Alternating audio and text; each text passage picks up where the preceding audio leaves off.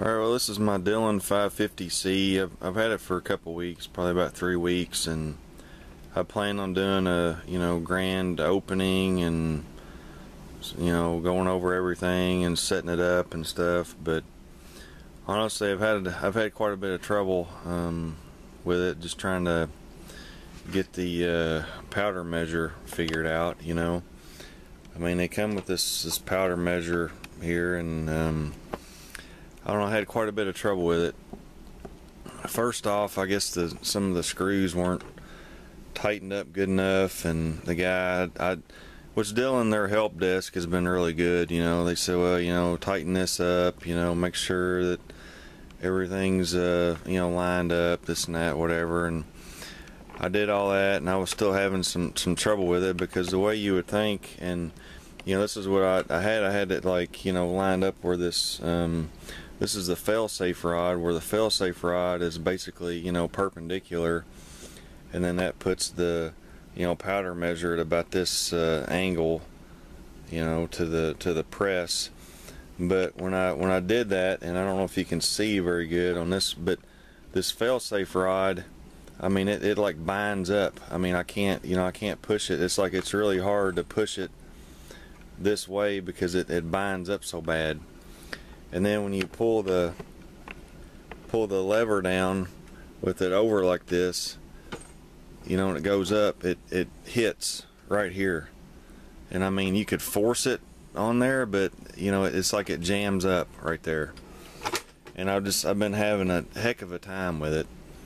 And uh, the only really position it would work in I could get it to, to work right in was this position with the bar you know at an angle when you do that, you know, it, it, works it works perfect. And you know, I was gonna I was thinking, well, maybe this needs to be, you know, bent or maybe it needs to be made wider, you know, somehow this uh, connection right here. And finally the guy the last email he sent me back said, you know, to make sure that this is at a 45 uh, degree angle on both uh, both ends which you can see it isn't. It's got quite and that that was what I was going to try to do anyway. I was going to try to you know bend bend this down a little bit and just kind of make make more room here but I didn't want to do anything without uh, you know the confirmation from uh, you know Dillon manufacturing because I mean I've never had this press before. It honestly doesn't give you real good instructions on this fail-safe bar basically it you know they and I've watched tons of videos on these things but you know basically it just says you know pull this down you know pull this up put the rod in there you know blah blah blah. But you know when, when you do that if this when I when I pull it over this way it doesn't work. It binds the rod up too much. So I'm gonna try to bend that out and see if I can't get it to work a little better Okay, well now after I've bent the crap out of this rod right here, as you can see I have the powder measure turned. This bar you probably can't see from the angle but it's pretty much uh, you know vertical now. And now everything is fine. It's not jamming up.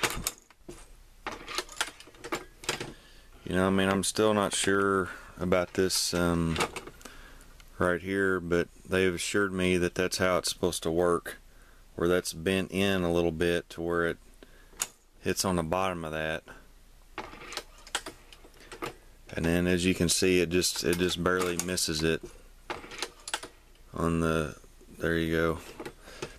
And this bar is pretty much straight and as far as what they've told me, this is the orientation that the machine is supposed to be in. So and I'm getting full full travel as far as I can tell on this powder bar.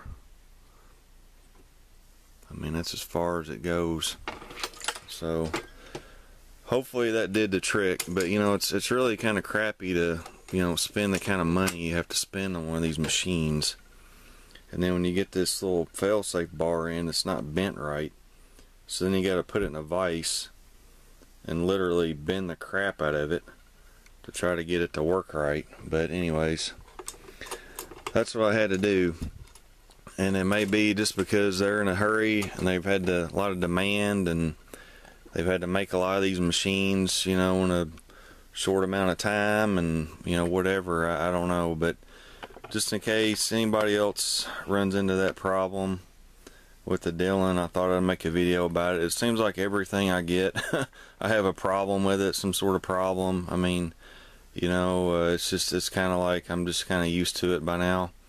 But um, you know, the guy from the customer service at Dillon, I mean, he emailed me back pretty. I mean, it, you know, it was about a day. It took him about a day turnaround time to get back to me.